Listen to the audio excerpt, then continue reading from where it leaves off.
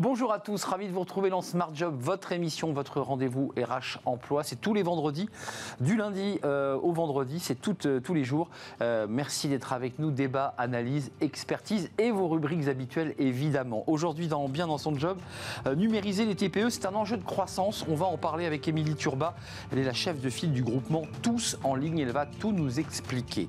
Smart et Réglo, notre focus juridique chaque semaine avec un avocat aujourd'hui, Étienne Pujol, qui nous parle cette semaine du management package. Mais qu'est-ce que c'est que le management package? Il va tout nous dire.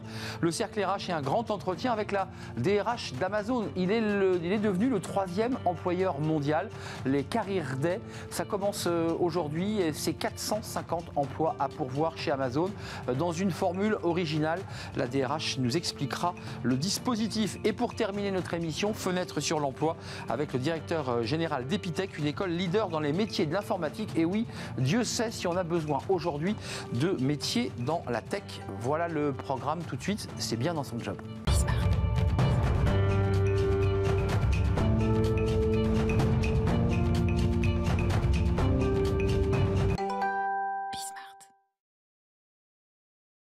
Bien dans son job, bien dans sa TPE. Tiens, on pourrait appeler notre rubrique aujourd'hui comme cela. Émilie Turba, merci d'avoir répondu à notre invitation. Directrice marketing commerciale de l'AFNIC et chef de file d'un groupement tous en ligne maintenant, parce que j'avais oublié le, mot maintenant. Euh, l'idée, de fond euh, que vous développez, on va en parler avec vous, c'est de, de permettre aux TPE d'avoir les bons outils numériques pour pouvoir se développer.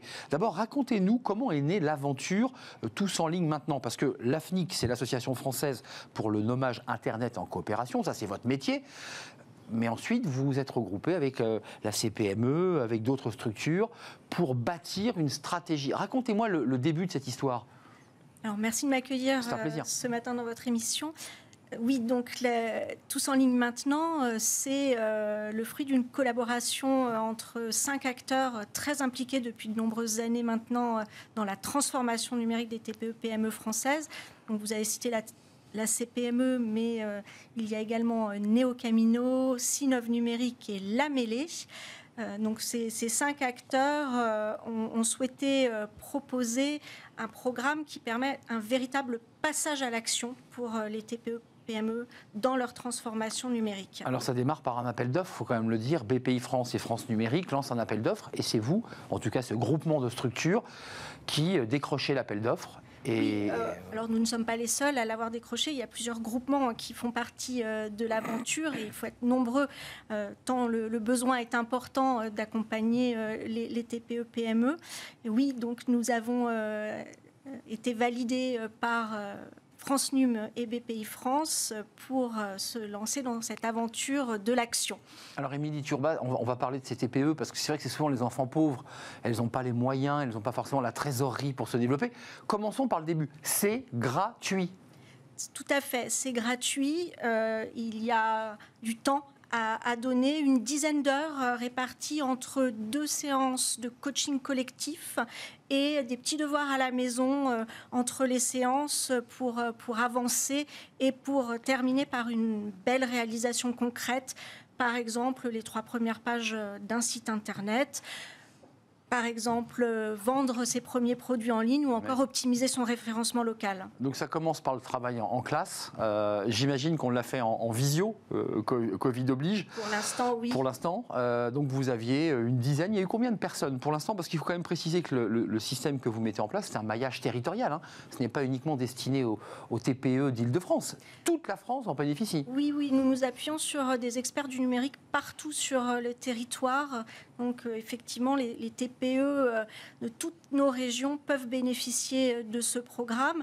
Alors il y a eu, comme vous le disiez, pour l'instant essentiellement des webinaires, mais on va pouvoir euh, recommencer euh, le présentiel pour être au plus près des entreprises et, de leurs besoins. ce qui est important, Émilie Turba, c'est qu'on on, l'a vu souvent dans cette émission, la crise Covid a accéléré les transformations. On le voit dans les grands groupes, on le voit dans les ETI, mais on le voit aussi dans les TPE. Elles aussi sont obligées de muter oui, on a vraiment pu observer une très forte accélération aussi au niveau des toutes petites entreprises qui euh, ont dû euh, complètement repenser euh, leur modèle pour pouvoir continuer à servir leurs clients. Et D'où la, nécessité de, pouvoir les accompagner, parce que bien souvent, dans les petites entreprises, on est très pris par son activité au quotidien et un, un accompagnement peut s'avérer nécessaire pour pouvoir franchir ce premier pas. Alors parlons un peu de concret. Euh, je suis une TPE, j'ai très envie de pouvoir bénéficier de ces 10 heures. On est bien d'accord que c'est un package de 10 heures. C'est une dizaine d'heures. Une dizaine d'heures. Il faut consacrer au Comment projet. je fais? Comment vous faites? Alors vous pouvez aller sur euh, le site web euh, tousenligne-maintenant.fr. Là, vous y trouverez toutes les informations sur les différentes thématiques d'accompagnement action qui vous sont proposées. Et puis, vous pourrez accéder au formulaire d'inscription euh, en ligne mmh. et nous rejoindre. Euh, tout le monde est pris? Excusez-moi, parce que peut-être que ça bouchonne. Euh, Alors non, tout le monde n'est pas pris. Il y a des conditions pour ah. pouvoir bénéficier donc, de cet accompagnement gratuit. Comme vous le soulignez, il faut avoir deux ans d'ancienneté et avoir un chiffre d'affaires d'au moins 20 000 euros sur les deux un des deux derniers exercices. D'accord. Et à partir de ce moment-là, on choisit dans une liste qui est proposée sur votre site euh, ce qui correspond à, nos besoins ou aux besoins de la TPE. On s'inscrit et ensuite on enclenche la session de formation. On se retrouve avec des, collègues qu'on ne connaît pas forcément de la même région, j'imagine. Oui. C'est l'occasion aussi de se rencontrer, d'échanger. Oui, vous avez tout à fait raison et c'est euh, un élément que soulignent d'ailleurs euh, les premiers participants euh, à hmm. nos accompagnements actions. C'est voilà, l'échange, c'est un, élément vraiment très important pour eux et, il en découle une, émulation qui est très appréciée. Oui, c'est en fait il y a la formation puis aussi l'échange entre participants où on se donne des tuyaux parce que certains sont dans le même secteur d'activité, certains. Tout à fait. On essaye de faire des, des, regroupements régionaux, des regroupements par par activité. On essaye de trouver des affinités pour euh, créer cette, euh, cette émulation. Mmh, donc c'est aussi, aussi des choix euh, lorsqu'on réunit les convives autour de la table numérique. vous faites en sorte de pouvoir les, rassembler sur des thématiques ou des. Tout à fait. J'aime beaucoup cette image de la table numérique. C'est un peu ça. C'est un grand dîner numérique. concrètement, pas besoin du CPF. On est sur, la partie financière parce que souvent les TPE vous disent oui mais c'est gratuit, mais il faut il y a des paperasses. Il suffit simplement de s'inscrire sur le site tous en ligne maintenant et, et les choses avancent. Il n'y a pas de. Oui, tout à fait. On, vous rappelle pour vous aider. Euh, il y a déjà même de l'accompagnement euh, au, niveau de l'inscription pour euh, vous permettre d'accéder au projet dans les conditions les plus simples possibles. Avant de nous quitter, Émilie Turba, c'est toujours intéressant de savoir pourquoi, alors que vous êtes la directrice marketing de l'AFNIC, vous vous êtes aussi embarquée dans cette aventure de tous, tous en ligne maintenant. Pourquoi, pourquoi ce désir de vouloir accompagner les entreprises C'est quoi le déclencheur? Alors, l'AFNIC, en tant que gestionnaire de l'extension Internet euh, nationale.fr, on est vraiment au cœur euh, des problématiques de présence en ligne et tout naturellement, on, s'est lancé euh, dans l'accompagnement à la transformation numérique. Pour nous, c'est un sujet essentiel bah dans le développement économique des petites entreprises françaises. Et voilà, on, a développé plusieurs programmes pour, euh, pour les y oui, parce que vous aviez commencé avant. Hein. Voilà, avant, tout à euh, fait, avec euh, notamment les Folies Web, avec Réussir en .fr, qui, qui fournit un grand nombre de, de contenus pour aider les, les entreprises à trouver toutes les informations nécessaires et les accompagnants euh, pour leur transformation numérique. Euh, euh, dernier mot avant de nous quitter, qui paie? Parce que bon, c'est gratuit pour les TPE, mais il y a quand même quelqu'un qui paie, c'est la BPI. Oui, c'est subventionné dans le cadre de France Relance. C'est France Relance qui, qui, investit. 10 heures, c'est suffisant? Avant, Vraiment, avant de nous quitter, la TPE dit bon, 10 heures, c'est bien. J'ai eu une page web qui a été créée par, par un expert qui m'a bien aidé. Mais j'ai envie d'aller plus loin, comment on fait? On se réinscrit discrètement? On peut accéder à deux sessions euh, dans le cadre. Donc 20 heures au total Oui, tout à fait. Donc on peut choisir une, deuxième euh, thématique euh, qui sera elle aussi subventionnée. Et puis bah, on fournit ensuite un ensemble d'éléments, d'informations. On peut aiguiller les entreprises vers une, une prochaine étape ou l'expert qui, ou, le spécialiste du numérique qui lui-même peut accompagner, moyennant peut-être une prestation euh, et un accompagnement. J'imagine que c'est intéressant aussi pour le prestataire. Tout à fait. Merci Émilie Turba, c'était un plaisir de vous accueillir. Euh, vous avez compris que c'était très simple de pouvoir accéder à ce dispositif. On y va tout au fil de l'année, il y a des sessions, il y a des dates alors, il y a des dates qui sont proposées. On peut aussi euh, se positionner euh, sans date et euh, on sera rappelé pour voir à hmm. quel moment ça peut se faire. Vous attendez quand même d'avoir le nombre. D'accord. C'est assez souple. Il y a à la fois des sessions voilà, ouvertes auxquelles on peut s'inscrire et, et, un autre système plus souple. Et puis, ce, ce, premier projet dure jusqu'en octobre 2022 et on a l'ambition d'y accueillir 3000 entreprises 3000, vous avez commencé par combien là aujourd'hui vous êtes On est en cours sur les 300 premières. 300 premières, donc c'est déjà, déjà pas mal. Et vous allez multiplier par 10 le nombre de TPE qui seront passés entre les mains de tous en ligne maintenant, octobre 2022. Vous avez un peu de temps pour vous inscrire. Inscrivez-vous sur le site Tous en ligne maintenant. Merci Émilie Turba, directrice marketing et commerciale de l'AFNIC, un des acteurs justement du développement numérique en France, engagé dans cette euh, bah, initiative très utile pour les, TPE. Merci de nous avoir rendu visite. À très bientôt. Vous viendrez nous en reparler en octobre 2022 quand, euh, bah, quand définitivement peut-être vous aurez tiré le rideau. J'espère que nous continuerons, euh, parce que je pense que ce sera toujours utile, et euh, je serai très heureuse de venir vous faire des petits retours d'expérience et vous parler de ce qu'ont apprécié les bénéficiaires. Plaisir partagé, merci beaucoup. Tout de suite, c'est Smart et Réglo. Tiens, le droit, c'est important. C'est chaque semaine notre focus juridique. Aujourd'hui, on accueille Étienne Pujol, un habitué de cette rubrique. On l'accueille, c'est tout de suite.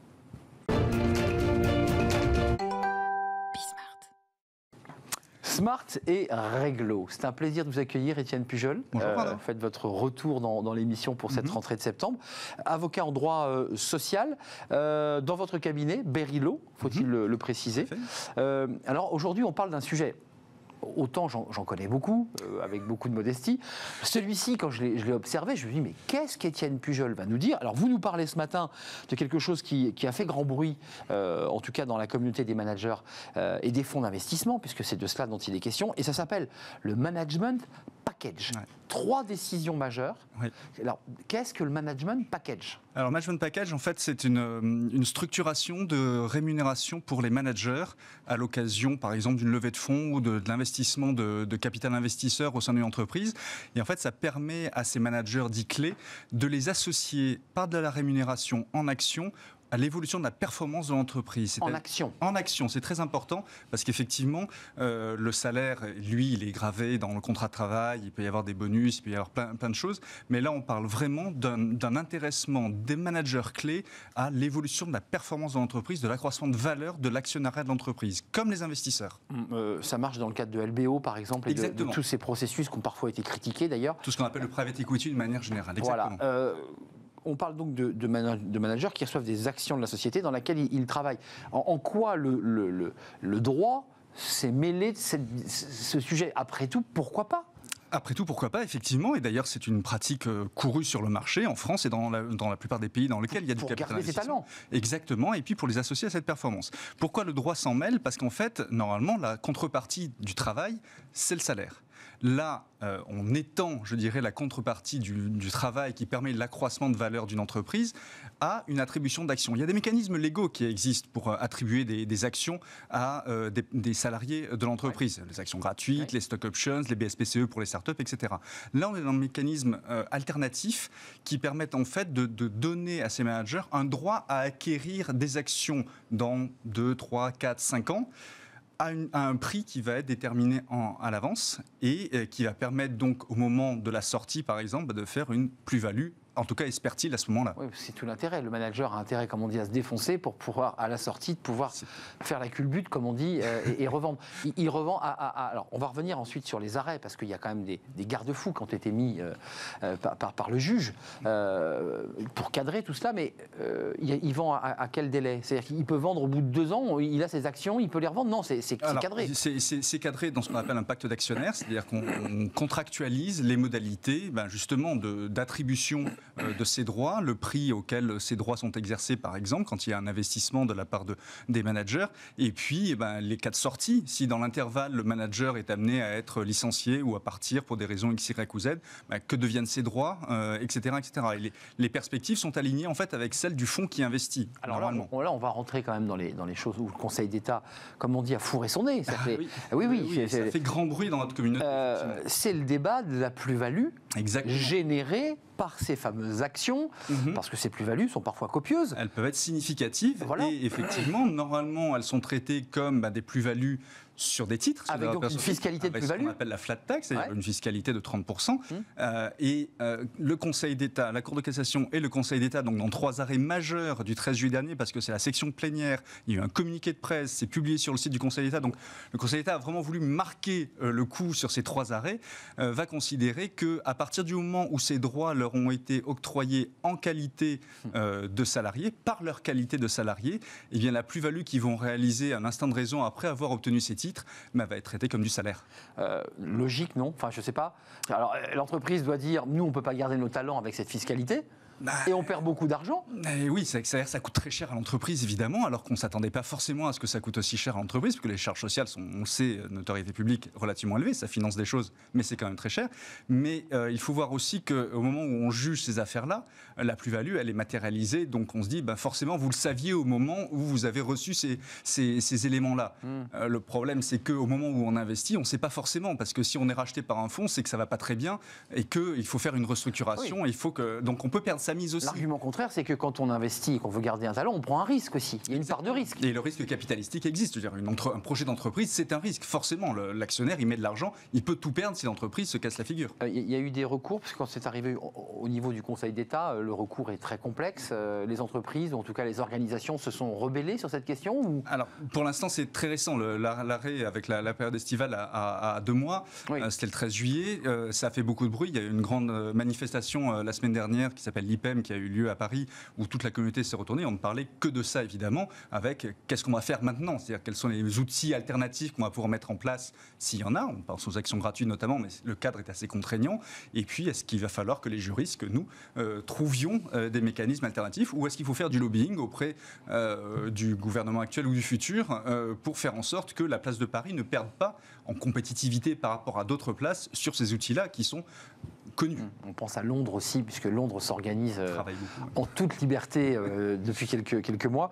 Donc euh, l'idée quand même, pour, pour conclure, Étienne, c'est à peine l'arrêt sorti le 13 juillet que déjà, vous, ou en tout cas les conseils de ces entreprises, commencent déjà à réfléchir à comment on va pouvoir réinventer quelque chose ou contourner cet arrêt, puisque c'est de ça dont il est question. heureusement, c'est ingénieux, euh, nous les avocats, donc effectivement, il y a des, il y a des questions d'action préférence, il y a euh, comment associer une part d'intéressement, une part de stock options ou d'action préférence ou d'action gratuite, enfin, réorganiser les packages, parce qu'il faut bien voir que ces arrêts ont tranché des situations passées, mais il y a énormément d'opérations qui sont en cours avec des managers qui ont ce type de, ce qu'on appelle des BSA, des bons de souscription d'actions, des, des, options de, souscription. Et euh, bah, qu'est-ce qu'on en fait? C'est-à-dire que les, les gens aujourd'hui savent qu'il y a un risque majeur potentiel au moment de leur plus-value. Et donc, comment on réorganise le pacte d'actionnaires et ses mécanismes d'intéressement pour éviter cet écueil? Euh, L'action gratuite plus contraignante que, la formule euh, qui a été sanctionnée par le Conseil d'État mm. En quoi elle est plus contraignante En fait, il y, y, a des durées minimales à respecter, il y a des, des, des, ratios à respecter en termes d'attribution des tensions capitalistiques. C'est assez contraint. On, on, appelle ça le, régime Macron pour que, pour que ces plans-là qualifient et puissent rentrer dans ce régime entre guillemets favorable, en tout cas ce régime spécifique euh, prévu par le Code de commerce et le Code général des impôts. Mmh. Donc si vous basculez sur d'autres formules, j'imagine que l'État, ou en tout cas euh, euh, Bercy, va commencer à regarder l'autre formule que vous contournez en se disant... ils ont monté une cellule qui s'appelle le, comité des abus, qui, qui, qui, met en exergue, et qui est publié sur un site internet d'ailleurs, qui met en exergue les montages dits douteux et en tout cas critiquables par l'administration fiscale. Donc vous êtes observé de près. Oui. C'est ça, observé de près. Bon, c'est voilà, c'est ça. C'est un jeu, hein, c'est un jeu juridique. C'est un jeu. Il faut tirer les conséquences de ces arrêts. Encore une fois, ils sont majeurs. Ils ont été publiés. Il y a eu un communiqué de presse. Oui, une très euh, forte la communication. plénière. Donc euh, vraiment, l'administration a voulu, enfin les juges ont voulu marquer euh, le coup, si je puis m'exprimer ainsi, sur sur ces mécanismes. Travail, salaire. Exactement. C'est cette base, la relation au, contrat de travail en fait. Mmh, exactement. Merci Étienne Pujol. J'ai tout compris. C'est formidable. Le, package management, management package. ça me semblait abscon. Vous êtes cinq minutes plus tard, je, me sens plus intelligent. C'est un vrai plaisir de vous accueillir, avocat euh, spécialiste en, droit social, mais aussi en droit euh, fiscal, puisque je vous entends. Oui, notre cabinet fait. et eh oui, vous faites aussi du fiscal. Voilà, on découvre. Vous ne faites pas que du social. Euh, cabinet Berilo. Merci d'être venu nous rendre visite. C'est un vrai plaisir, Étienne. On fait une courte pause. On va recevoir aujourd'hui dans le cercle RH, non pas des invités, mais une invitée, la DRH d'Amazon, troisième employeur mondial. On va faire le point avec elle sur ce qui se passe en France et les carrières day. C'est un mot évidemment anglais puisque l'entreprise est américaine. Euh, ben, on recrute chez Amazon, ça se passe aujourd'hui avec du coaching, avec euh, des visios pour euh, ben, donner envie aux salariés de rejoindre l'entreprise Amazon. On en parle avec la DRH juste après cette courte pause.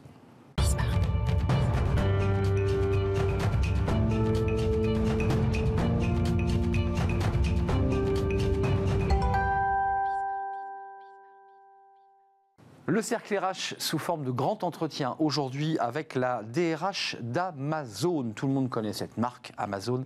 Anne-Marie Husser, merci d'avoir répondu à notre invitation. DRH euh, d'Amazon France. Amazon France. Amazon France. Hein. Et Amazon Luxembourg aussi. Et Amazon Luxembourg. Euh, je précise, alors d'abord, on va parler du Carrière Day, parce que c'est votre actualité. Euh, le recrutement des derniers 450 collaborateurs sur les 3000 hein, que vous envisagez de. que vous avez recrutés. Euh, d'abord, un, petit mot sur le, positionnement d'Amazon dans le monde. Commençons dans le monde. vous êtes passé, votre entreprise, troisième entreprise mondiale en, en termes d'emploi. Oui. Euh, ça fait quoi quand on est DRH de, cette entreprise C'est une entreprise monde, Amazon Amazon, c'est une entreprise qui a une forte responsabilité, qui crée de l'emploi dans le monde, qui crée de l'emploi en France. Euh, troisième employeur euh, dans le monde. Employeur, Walmart, Petroleum China et Amazon. Amazon. Et un employeur également important en France, puisque nous étions employeur direct de 11 500 salariés à la fin de l'année 2020, 14 500 projections à la fin de l'année 2021. Mais Amazon, c'est au-delà de ça, 150 000 emplois en France quand on prend en compte les emplois directs, mais aussi tous les emplois indirects que nous créons sur l'ensemble de la chaîne logistique, les transporteurs, les livreurs, les prestataires de services et les petites entreprises françaises qui viennent trouver un débouché euh, euh, en vendant en ligne sur, euh, Amazon. On va revenir. Évidemment, même pendant le Covid, d'ailleurs, vous étiez venu, enfin, un des membres de votre équipe était venu nous expliquer l'accompagnement d'Amazon pour les, commerçants et pour tous ceux qui voulaient évidemment vendre leurs produits euh, en, direct par le biais du numérique. Euh, Carrière Day, ça c'est l'actualité. Euh, comment ça marche? Comment on peut faire? Il reste 450 postes à pourvoir. Carrière Day, ça commence ce matin. Si vous voulez vous inscrire, il est encore temps. Allez-y tout de suite. C'est amazoncarrièreday.com. Vous pouvez vous inscrire. Et c'est un événement qui est dédié à l'emploi, à l'emploi pour Amazon, mais à l'emploi en France de manière plus générale. Dans cette journée, vous trouvez deux choses. Vous trouvez euh, des, interventions, des présentations de personnalités euh, extérieures à Amazon ou des salariés d'Amazon. Je vous en cite quelques-uns. Le directeur général de Pôle Emploi, Jean Basser, le chef Thierry Marx, mais d'autres personnalités qui viennent parler de la situation du marché de l'emploi en France, de l'entrepreneuriat, de l'importance de l'apprentissage, et puis des salariés d'Amazon qui viennent témoigner de ce qu'ils y font, euh, de l'environnement de travail.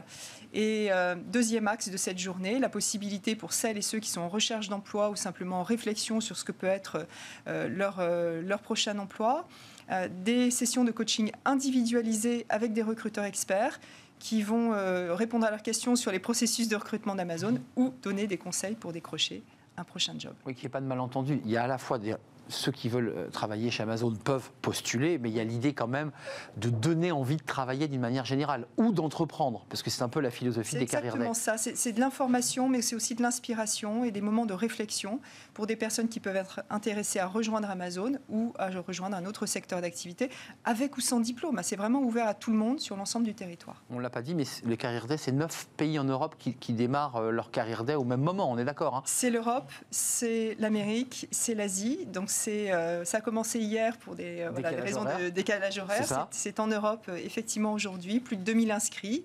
il est encore temps de s'inscrire pour les sessions qui vont démarrer là dans la prochaine heure. Alors rentrons un tout petit peu dans les, dans les détails, Anne-Marie Husser. Il y a cette idée de donner envie à ceux qui vont se connecter sur le Carrière Day, puis il y a quand même ceux qui se disent, après tout, tiens, j'irai bien jeter un œil chez Amazon.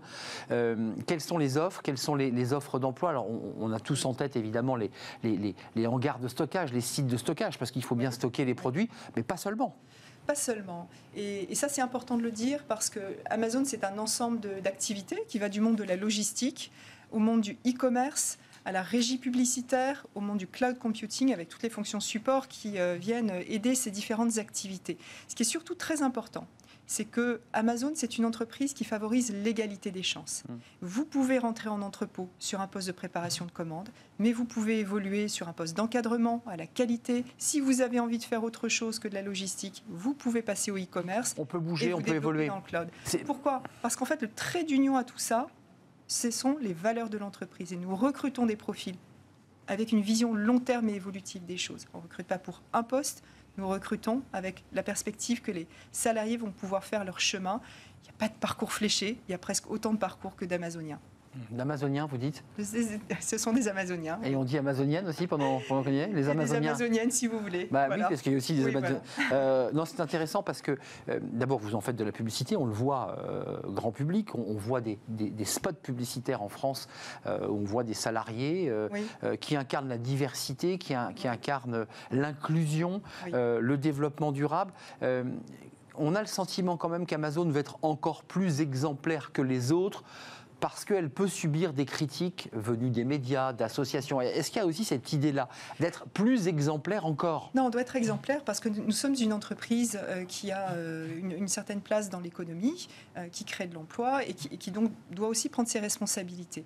Amazon favorise, quand je disais qu'elle favorisait l'égalité des chances, c'est que vous pouvez rentrer chez Amazon sans aucun diplôme professionnel.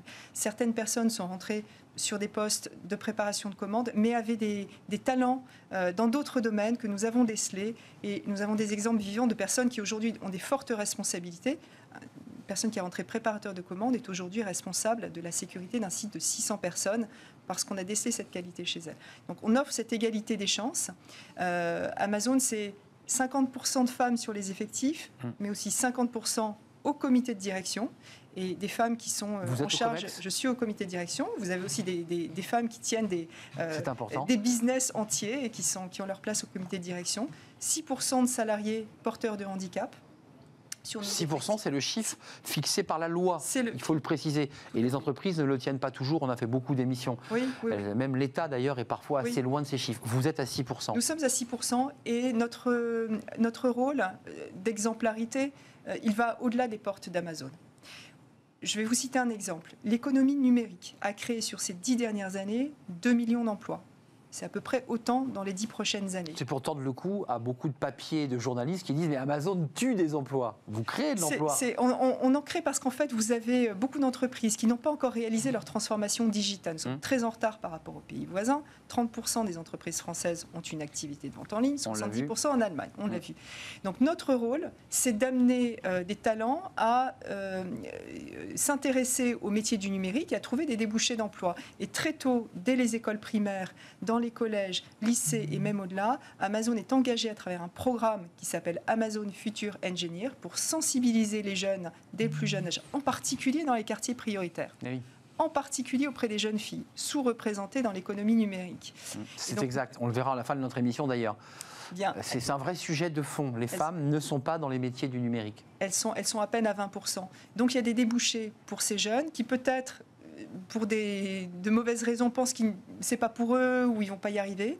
Et notre rôle est de les accompagner pour leur expliquer que c'est possible à travers des ateliers sur les sciences de l'information, la robotique, à travers un, réseau associatif dans les, dans les écoles publiques, euh, des stages de troisième sur mesure pour les jeunes de quartiers prioritaires qui viennent passer une semaine dans nos murs, découvrir la robotique, découvrir des ateliers sciences de l'information des bourses d'études pour les jeunes filles qui voudraient euh, s'orienter vers les, écoles supérieures euh, en informatique et du mentorat. Hum, c'est formidable. Euh, adossé à l'éducation nationale, parce que c'est vrai que c'est un manque, on l'entend souvent et on, l'a vu pas plus tard que ce matin. La, notre première invitée évoquait l'aide aux TPE qui sont souvent un peu démunis, qui n'ont pas les outils numériques pour, pour avancer. Est-ce que vous diriez que vous êtes une entreprise exemplaire? Je dirais qu'Amazon, c'est une entreprise qui se, qui se doit de, de, prendre des responsabilités euh, à, la, taille de l'entreprise. Euh, on doit être créateur d'emplois, euh, on doit avoir un impact positif sur l'environnement, on doit aider les TPE, PME à, se développer, à réaliser leur transformation. Notre responsabilité, elle est au sein de nos murs et elle va même au-delà. Un, mot sur la diversité, et même plusieurs. dans vos spots publicitaires, on voit aussi cette diversité. On a parlé de l'inclusion, mais parlons de la diversité un instant Amazon permet aussi à des jeunes issus des, quartiers, parfois sans diplôme, de pouvoir trouver déjà un emploi et même pour aller un peu plus loin, un sens à leur vie. comment ça se passe, cette stratégie concernant cette diversité bah, la première, déjà, c'est d'être euh, dans les territoires là où ces personnes ont besoin de trouver un emploi. On a signé cette année un, accord avec Pôle emploi pour nous accompagner, travailler en partenariat avec eux, euh, grâce à leur maillage national, pour aller au plus près de ces quartiers et euh, à, la, rencontre des, personnes jeunes ou en fin de carrière ou en reconversion pour qu'elles puissent venir trouver un débouché d'emploi chez nous. Et puis Amazon voit plus loin que ça puisqu'on peut rentrer effectivement euh, sur ces postes-là et évoluer. Mais vous avez aussi des personnes qui pourront avoir envie de faire une carrière au-delà d'Amazon et sortir d'Amazon à un moment donné. Et nos actions vont aussi dans ce sens-là, puisqu'à travers l'école Amazon, nous aidons des jeunes qui n'ont aucune qualification à faire reconnaître par l'expérience acquise chez mmh. Amazon un titre d'État, type BEP, CAP, ou à travers un programme qui s'appelle Career Choice, de financer jusqu'à 80% des frais de formation. Ça peut aller jusqu'à 8 euh, 000 euros sur 4 ans pour des personnes qui auraient envie de se reconvertir dans des domaines porteurs. Euh, attractif ou pas Amazon? Parce que c'est vrai qu'il euh, y a ce Career Day, il y a l'idée quand même de donner envie de, se lancer. c'est vrai que le, bas de l'échelle, pour le dire sans, être péjoratif, c'est quoi? C'est opérateur de commande, c'est qu'on récupère la commande d'un client qui vient sur Internet acheter n'importe quoi et on, la saisit. C'est ça le premier niveau d'emploi? Comment ça se passe? Ce, premier euh, niveau d'emploi, c'est effectivement au sein de nos entrepôts, les personnes qui vont réceptionner les produits qui sont euh, livrés par nos, fournisseurs, les mettre en rayon et puis euh, organiser la mise en carton et l'expédition. C'est le poste d'un préparateur de commande. avant de parler, parce que je ne voudrais pas qu'on se quitte sans qu'on parle de cette crise Covid et de la manière dont Amazon a accompagné ou a traversé cette crise, c'est la question que je pose à tous mes invités et à toutes les DRH souvent des DRH femmes. Euh, il y a peu d'hommes euh, dans, ce métier. Euh, un, petit mot quand même sur l'Amazon le, de demain. Qu'est-ce qu'il est en train d'inventer? Parce qu'Amazon invente chaque jour des choses nouvelles. C'est compliqué pour la DRH que vous êtes, parce qu'il faut quand même toujours... on suit derrière, ça va très vite cette entreprise. On n'a d'ailleurs pas parlé ni de, du volet cinéma, vous êtes, il y a des investissements dans, le sport, dans le numérique. c'est une entreprise qui est en train passionnant. de... C'est passionnant. Parce que vous êtes aspiré aussi par cette, cette, croissance et cette dynamique, mais ça crée des opportunités formidables. Je dirais que l'enjeu d'une DRH, si vous posez la question à une DRH, eh ben c'est d'arriver à, accompagner euh, euh, la carrière des, collaborateurs à la même vitesse que l'entreprise. Et, c'est un mandat qui est intéressant puisque vous devez euh, créer une dynamique qui va les accompagner dans ce développement-là et leur offrir ces possibilités. Et puis, et puis en même temps, il faut donner du sens aux carrières parce que à bouger trop vite, vous ne consolidez pas non plus vos acquis. Donc mon, mon rôle, il est parfois de temporiser les choses en s'assurant que les personnes ont bien euh, les acquis qu'il faut avant de faire autre chose, euh, mais aussi euh, de créer des mécanismes de promotion interne, de formation, de plans de succession qui vont permettre aux personnes d'explorer un champ très large d'activités, mais la personne est très actrice chez nous de, son parcours. C'est pas moi qui vais dire euh, à la personne ce qu'elle doit faire. Elle va voir quoi? Son euh, manager, son, responsable? Elle lui dit voilà. Il y a beaucoup de temps d'échange, effectivement. Beaucoup d'évaluation aussi? Donc ce sont des temps d'échange. Il y a des moments d'évaluation euh, qui sont centrés sur les forces des collaborateurs. Je tiens à le préciser. On, capitalise sur ce que les gens savent faire de mieux. Ça, c'est l'américaine. Excusez-moi. C'est l'esprit de... nos entreprises américaines. Et oui, sinon je vous ramène une sorte de moyenne. Et, mais je, préfère capitaliser sur ce que vous faites de mieux pour que vous donniez le meilleur de vous-même, que vous soyez content. Ça, c'est intéressant parce que vous êtes française, Anne-Marie euh, Husser. Votre culture et votre éducation a été, a été vécue, je pense, euh, euh, en France. Oui cette attitude de l'entreprise américaine, cette espèce de philosophie qui consiste à valoriser ce qui est positif et à ne pas pointer du doigt ce qui ne marche pas, parce que c'est ce qui arrive très souvent dans les entreprises. Les salariés vous disent on ne met jamais en valeur ce que j'ai fait de bien et on pointe du doigt dans mes évaluations les deux, trois erreurs que j'ai faites. Ce qui n'est pas bon, qui démotive. Mm. Vous le sentez, ça J'imagine que cette philosophie-là, elle, elle, elle, imbibe l'entreprise. Elle imbibe l'entreprise. Alors on n'écarte pas non plus euh, les, les, points de progrès euh, mais on se centre avant tout sur les qualités. Et je reprends cet exemple du collaborateur qui est rentré préparateur de commande. On a décelé qu'il avait une qualité en informatique, il était passionné par ça, mais il n'avait pas pu réaliser euh, son, rêve euh, sur le marché de l'emploi et nous l'avons nous avons permis de, réaliser en capitalisant sur cette force-là. Il n'est plus préparateur de commandes, il a aujourd'hui une très forte responsabilité sur un site important dans le nord de la France. Anne-Marie Hussière, on sort comment d'une épreuve Covid qui a, qui a, duré un peu plus d'un an et demi, où l'entreprise et toutes les entreprises ont été impactées par une crise où on a demandé aux salariés de rester chez eux, euh, où il a fallu euh, euh, travailler à distance. Comment vous vous êtes adapté et, et, comment la DRH, d'un point de vue très concret, très physique, a engagé ou a maintenu ses équipes sur site ou pas d'ailleurs D'accord. Alors il y a deux, populations. Il y a le monde des entrepôts où, les gens étaient sur site pour préparer les commandes, pas le choix, et puis les, les fonctions qui pouvaient télétravailler pour l'ensemble de ces salariés, la santé, la sécurité des salariés a été la priorité numéro un. Nous avons mis en place euh, euh, une règle de distanciation de 2 mètres euh, entre nos salariés, ce qui, allait au-delà des mesures qui étaient demandées par le gouvernement. Nous avons également revu 150 processus de travail, de circulation pour préserver la santé des salariés. Quand ça a été possible, nous avons organisé la vaccination sur site et tous les salariés qui ont souhaité se faire vacciner contre la Covid-19 ont pu bénéficier de ce vaccin. Donc vous aviez un centre intégré sur, dans les entrepôts Nous avions des, des, des, réseaux d'infirmiers et d'infirmières qui sont venus sur site organiser cette vaccination dans les mêmes normes que celles qui étaient euh, euh, demandées par, euh, par les. On en a peu parlé, hein, j'ai vu peu d'informations. Et nous avons vacciné sur site lorsque ça a été rendu possible. D'accord, donc les salariés volontaires venaient et, et, et anonymes puisqu'ils enregistrés sur une plateforme qui était gérée par ce prestataire. Donc moi, je, d'ailleurs, euh, peu importe, je n'avais pas besoin de savoir qui y allait, mais c'était une, une, facilité supplémentaire, un côté pratique pour le salarié, et puis ça permettait de soulager les centres de vaccination qui étaient, euh, qui étaient débordés. Les livreurs euh, vaccinés Et les prestataires de services étaient également ouverts à eux aussi. D'accord. Pour les salariés euh, qui pouvaient télétravailler, alors, euh, on, a, on, les a accompagnés euh, avec des, outils, des financements pour l'achat de, de, bureautiques ou de produits de bureau. et puis on a accompagné à travers des ateliers sportifs ou des ateliers autour de la nutrition, du sommeil, et puis des ateliers aussi pour les enfants autour des, sciences de l'information, des ateliers de coding informatique pendant les vacances. Hum, ça, vous lâchez pas cette idée. On lâche pas Même pendant le Covid, vous continuez à penser que c'est par les enfants ou les jeunes Ça occupait les enfants et puis ça les éveillait à un domaine qui, euh, qui est porteur pour l'avenir. Et le monde de demain, lorsqu'on sera revenu à la normale, parce qu'aujourd'hui on a mm. réouvert nos bureaux à hauteur de 50% du taux d'occupation. Vous êtes dans le télétravail, Anne-Marie parce que c'est un sujet qu'on a avec beaucoup de, de, de, CEO ou de DRH. Certains nous disent, nous on ne pourra jamais revenir en arrière. Nos collaborateurs, pour ceux qui pouvaient le faire évidemment, se sont habitués au télétravail, s'y sentaient plutôt bien, et nous disent, et doivent vous dire, est-ce qu'on hybride? Est-ce que vous avez signé un accord de télétravail? Je ne sais pas si vous l'avez signé au sein de votre entreprise. L'esprit, euh, l'esprit pour les, les, personnes qui peuvent télétravailler, c'est et, fort de l'expérience euh, de cette période de crise, l'idée c'est de retenir vraiment le meilleur des deux, c'est-à-dire le meilleur du travail au bureau et le meilleur du travail chez soi.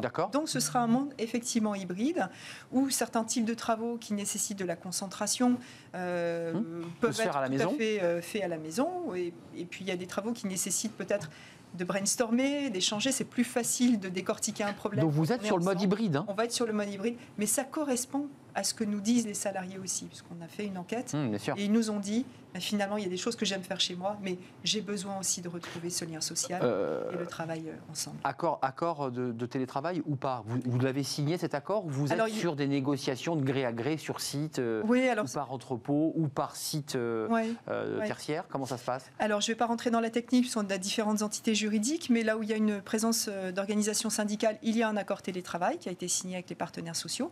Et puis, sur les entités où nous n'avons pas d'organisation syndicale, nous mettons en place euh, euh, des, ce qu'on appelle des guidelines, donc euh, une, un petit peu par le menu, on va expliquer comment ce, ce mode hybride de jour trois jours va, se mettre en œuvre et ça se passe très bien. Mais ça, c'est quand même une transformation pour un DRH. Vous, avez, vous êtes arrivé en 2014 chez Amazon. Avant, vous aviez des vos expériences de DRH traditionnelles, j'allais dire, où les gens venaient au travail, on, on s'organisait, on, les faisait, on les intégrait, ensuite on se séparait de collaborateurs.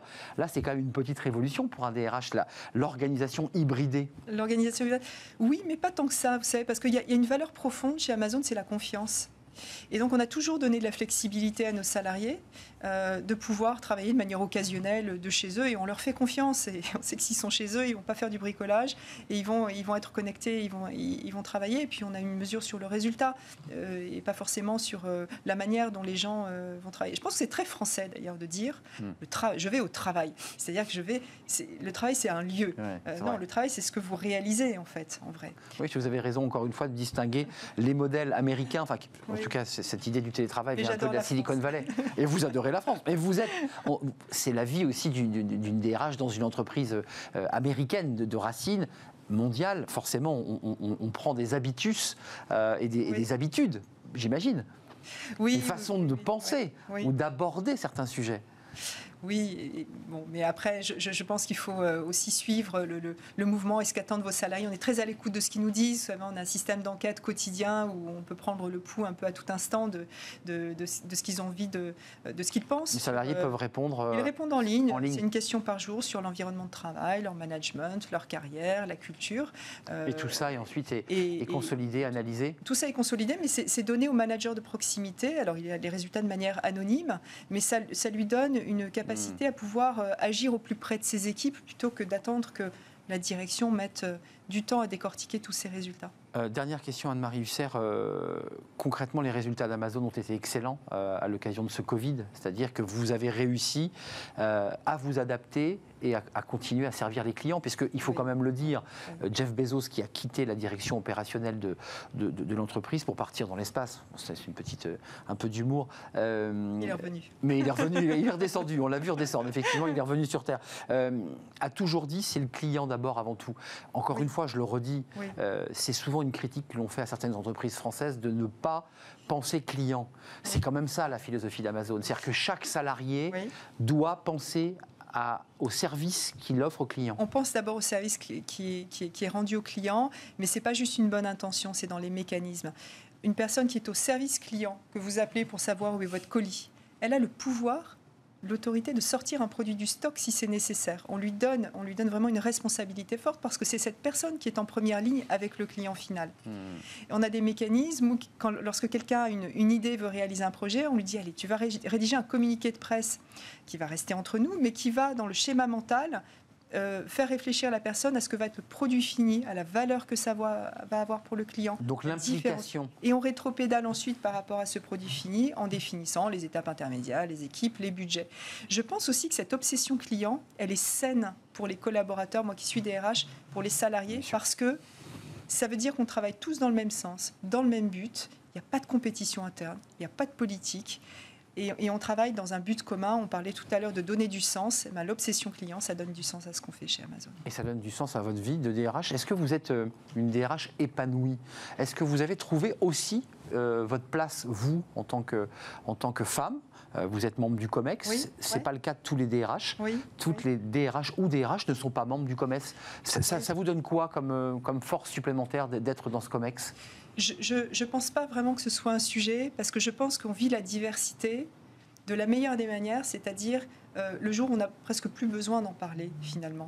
la diversité, elle est naturelle dans les comportements. Comité de direction, vous avez des personnes qui sont des rôles modèles parce qu'ils sont euh, papa, maman, ils ont des vies équilibrées et quand on les voit se comporter, eh bien, on se dit, euh, je pense que les jeunes qui sont en dessous les regardent, ils disent, mais en fait, ouais, j'ai envie d'être comme ces personnes, ils sont inspirants, hmm. euh, ils n'ont pas euh, euh, laissé sur le bord de la route leur vie personnelle, leurs enfants. ils m'ont donné ma chance.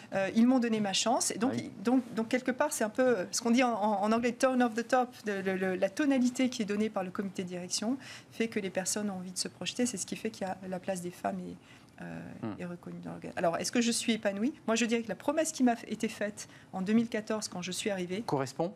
Correspond à ce que je vis toujours aujourd'hui, c'est-à-dire accompagner les, collaborateurs à la même vitesse que l'entreprise. Euh, c'est voilà, le mandat qui m'a été confié, c'est ce qui anime aujourd'hui encore mon quotidien sept ans après. Merci de nous avoir éclairé sur ce Carrière Day.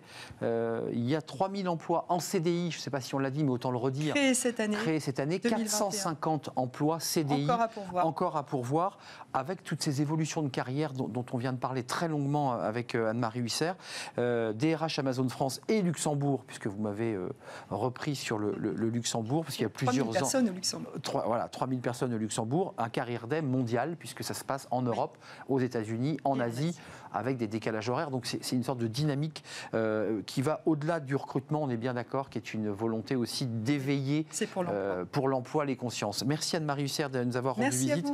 Votre emploi du temps est un peu serré et chargé, évidemment, pour ce carrière day. Et puis vous reviendrez, si vous le souhaitez, évidemment, nous parler de l'activité Amazon. C'est un plaisir. Merci beaucoup. On termine notre émission par euh, fenêtre sur l'emploi. Bah tiens, on vient d'en parler avec la DRH d'Amazon. Les métiers de la tech, non seulement ils sont peu féminisés, mais en plus il y a une pénurie. On en parle justement avec une, une école. Elle est leader dans les métiers de la tech et elle forme bah, des garçons et des filles aussi. On en parle.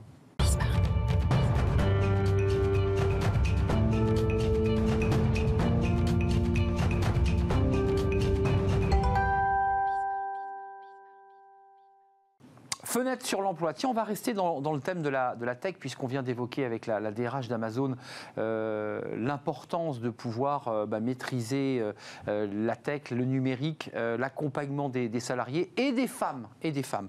Bah, justement, Emmanuel Carly, merci d'être avec nous. Vous êtes le directeur général d'Epitech. Merci. Racontez-nous un tout petit peu d'abord, avant qu'on rentre dans le vif du sujet, qui est une pénurie de main-d'œuvre. Ça, c'est la première chose. Mm.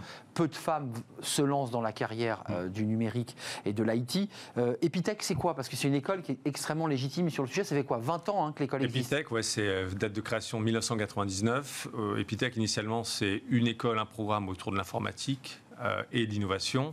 Aujourd'hui, c'est quasiment un mini-groupe qui gère des formations dans le numérique avec tout, tout, le volet technologique, donc informatique pur et dur, donc avec le programme historique qui forment des étudiants en 5 ans et aussi après un bac plus 2, bac plus 3. Master, donc là c'est du, du master Oui, on est sur du titre, euh, du titre RNCP, parce que vous savez qu'en France on n'a pas le droit d'utiliser le terme master comme ça. Euh, ensuite, on a des programmes pour euh, les personnes qui sont en rupture scolaire avec la Web Academy. On a reçu Madame Moreno il y a cette semaine sur ce sujet-là. Et de la reconversion professionnelle avec la Coding Academy. Et à côté de ça, on fait aussi du digital, c'est-à-dire plutôt de l'usage. Donc on a la technologie avec Epitech Technologies. Le dur. Et le digital, le dur, et le digital, qui est justement la transformation digitale. On forme au métier de business technology management, parce qu'aujourd'hui, c'est un sujet hyper important. Et aujourd'hui, on intègre aussi, pour le groupe Ionis, l'école Suminfo. Donc, on a un périmètre sur le, sujet du numérique qui est, euh, qui est assez large et on, on, aime plutôt ça. Et pour faire la passerelle d'ailleurs avec le groupe Ionis, Amazon, puisque pour qu'on soit extrêmement concret, qu'on comprenne bien ce que nous a dit la DRH, bah, vous nous le confirmez, finance euh, l'accompagnement de quoi 15, 15 jeunes On a 15 étudiantes chez Epitech. Étudiantes, chez, hein. Oui, chez Epitech et chez Epita dans le cadre de leur programme Future Engineer. D'accord, donc euh, Amazon accompagne bien donc concrètement des, des, des, jeunes filles à devenir. Euh, il y, a des mots un peu barbares dans vos métiers parce que vous les connaissez, vous dirigez aujourd'hui un groupe scolaire spécialisé, mais quand vous parliez du business développeur, c'est-à-dire que le jeune se regarde ça, mais c'est quoi comme métier? On fait quoi avec ce métier concrètement? Bah, Un business technology manager, c'est quelqu'un qui va, euh, c'est quand même, alors je vais vous en donner un autre d'acronyme, c'est un business analyst, c'est quelqu'un qui va faire ah. le lien entre. On va vous compliquer les choses en plus. non, non, c'est quelqu'un qui va faire le lien entre les équipes technologiques qui vont développer les, les solutions techno et les utilisateurs. Donc de quoi vous avez besoin, vous, en tant que journaliste, comme outil euh, numérique pour faire votre métier? Et ensuite, ils vont faire le lien. Aujourd'hui, un, point qui est hyper compliqué, c'est le lien entre les métiers et, euh, et, les, et, les, tech. Combien de fois vous avez entendu le projet avance pas à cause de euh, du business ou du commerce, etc. Donc Epitech Digital a plutôt cette vocation-là, de former des profils qui vont avoir une sensibilité métier, une sensibilité technologique. Ouais. C'est pas que des gens devant l'écran, c'est des gens qui sont capables d'organiser, de lier, d'être un peu la, tour de contrôle. Oui, oui, oui, vous avez besoin de ces, de ces interfaces en fait entre des univers. Euh, euh, vous, la, la, personne qui est sur son métier, son objectif, c'est de produire le métier. Vous prenez une ressource, des ressources humaines, tout ce qui est fonction corporate, euh, les finances, les taxes, etc. La technologie, c'est un moyen, c'est pas une finalité. Bien sûr. Quand vous êtes du côté technologique, la finalité, c'est la technologie.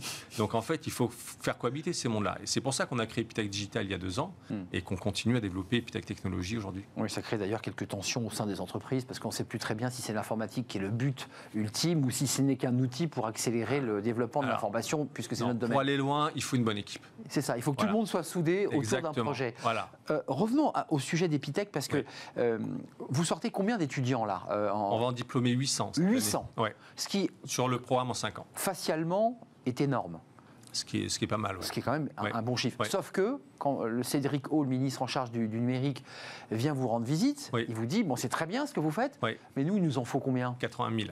80 000 Ouais.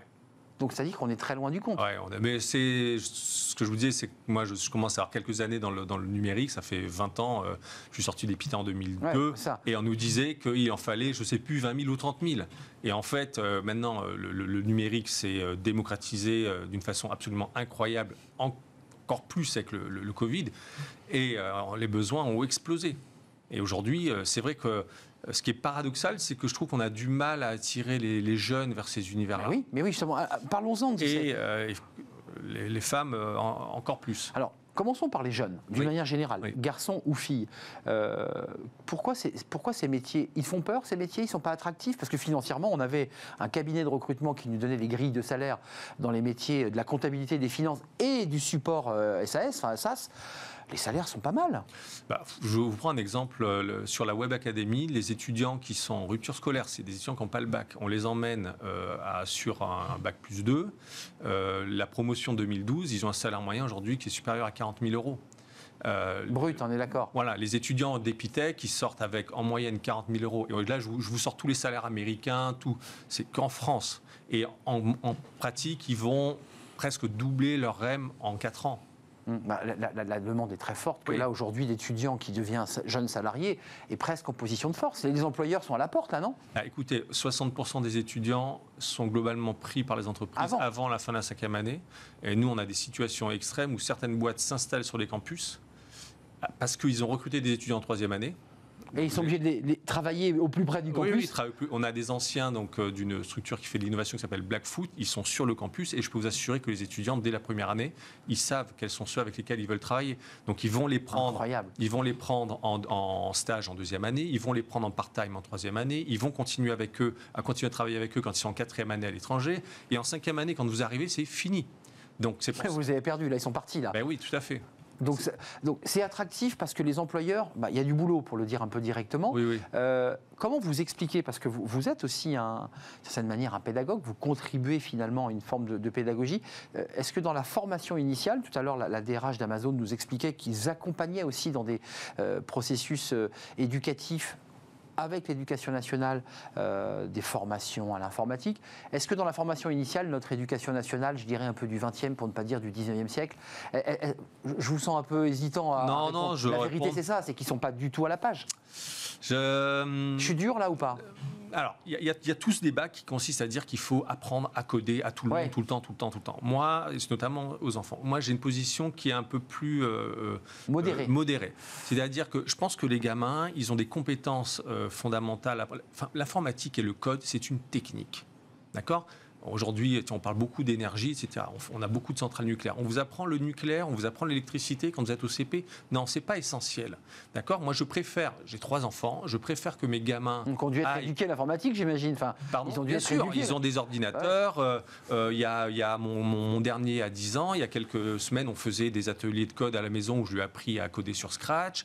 Et puis, il s'est mis dedans un week-end, il a trouvé ça génial. Et puis, il est passé à autre chose. Excusez-moi, la, finalité du codage pour un enfant de 10 ans, c'est quoi? Je pense que c'est la logique. Euh, c'est la, logique. Vous savez, l'informatique, c'est euh, euh, écrire des instructions sur un appareil qui va les interpréter pour faire des choses. Donc vous avez, le, pour moi, la, compétence essentielle, c'est la capacité à modéliser. Vous êtes dans l'immatériel. C'est ça qui fait que l'informatique est, difficile. Vous avez une quantité de, composants que vous devez connecter les uns aux autres et vous devez les architecturer pour que ça soit sécure, la cyberdéfense, que ça scale, que ça supporte la charge, etc. Moi, je, je, je prends mon exemple. Mon gamin, mon petit, la première fois où je lui ai appris ça, c'était avec des cubes en bois. Donc il y avait des cubes en ah bois. Et en fait, il fallait faire entrer la bille à un endroit A et la faire sortir à un autre endroit. Ça fonctionne très bien. Vous avez des. des, c'est le début du codage, en fait. Mais oui, voilà, il apprend l'algorithmie sans forcément se mettre sur la technique. Parce qu'en fait, vous le mettez dans une situation de double apprentissage.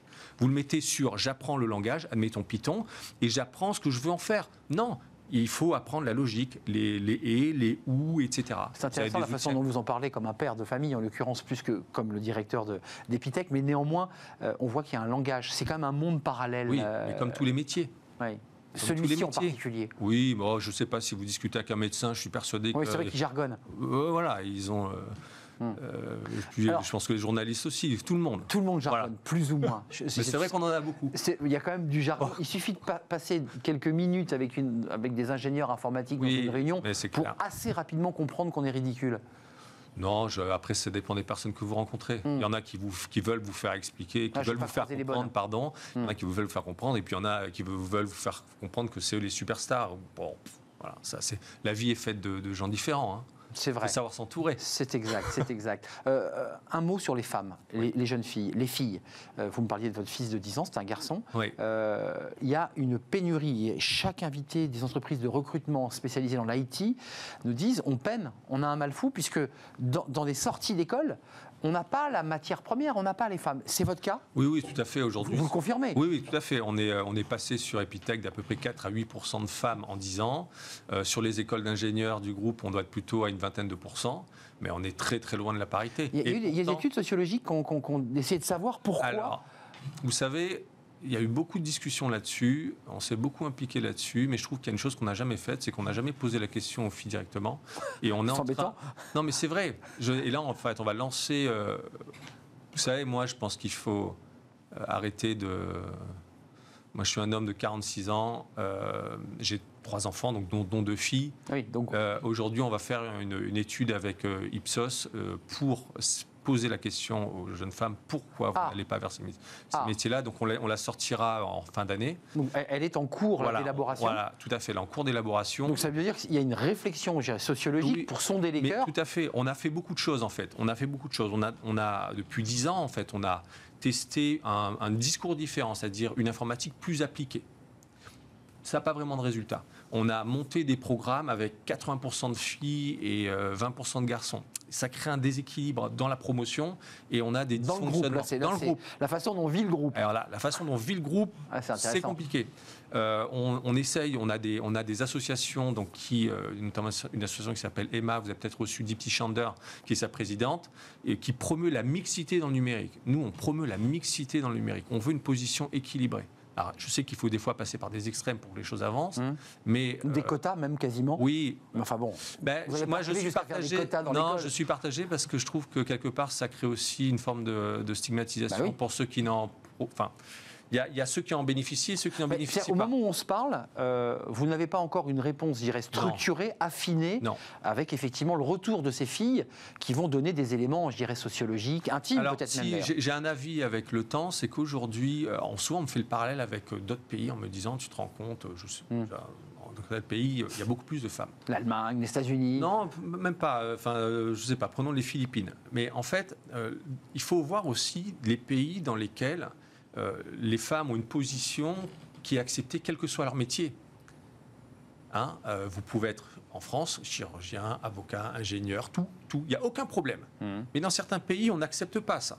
Et donc, en fait, l'informatique, c'est aussi un moyen de d'exister et, d'avoir une porte, euh, un avenir. Voilà. Donc moi je pense que c'est un sujet extrêmement compliqué. C'est parce qu'elles ont trop de choix finalement et qu'elles n'ont pas le. Moi je vous parlais de, mes, de, ma fille aînée, euh, elle a fait les journées portes ouvertes des écoles du groupe, elle était hyper intéressée et, puis, finalement, elle fait médecine. D'accord. Voilà. c'est son choix, on l'a accompagnée, je lui ai montré l'informatique, elle, elle, a développé, elle a fait des trucs absolument dingues. Je me suis dit c'est sûr, elle va faire l'informatique, elle a fait un autre choix.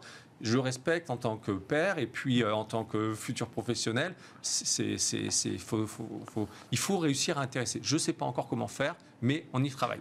C'est important. Emmanuel Carlis, c'est un plaisir de vous accueillir parce que vous parlez clairement de tous ces sujets. Avec cette étude Ipsos, j'aimerais bien que vous nous la présentiez. Oui, avec plaisir. Euh, parce que c'est intéressant d'avoir véritablement euh, une étude, un sondage, euh, voilà, une photographie de, l'état d'esprit des filles sur ces métiers bah, qui sont évidemment en tension et souvent mal dotés en personnel féminin. Merci Emmanuel Carly, directeur général d'Epitech. C'est pas une école, c'est un groupe. Allez jeter un œil. Peut-être que vous aurez un choix bah, pléthorique pour trouver euh, eh bien, la formation qui vous convient. Merci, merci à vous, merci, à mes invités aujourd'hui euh, d'avoir euh, répondu à notre invitation. Merci à vous, merci de votre fidélité.